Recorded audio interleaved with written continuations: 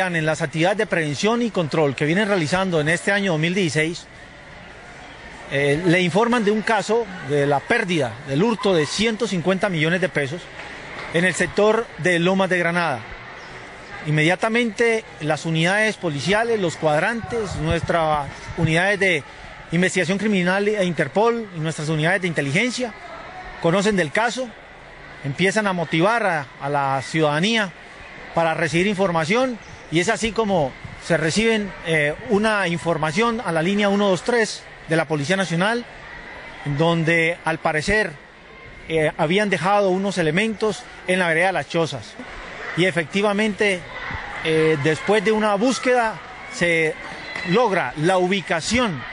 de los 150 millones de pesos, entregándoselos, por supuesto, después de un procedimiento a su dueño. Con esto queremos resaltar el compromiso que tenemos los hombres y mujeres policiales de toda la metropolitana de Popayán para seguir atacando de manera frontal todas las manifestaciones delictivas, especialmente a las organizaciones eh, dedicadas al hurto en todas las modalidades y eh, para colocarlos a disposición de autoridad competente. Así que seguimos trabajando por eh, la ciudad con todo esa objetividad y puntualidad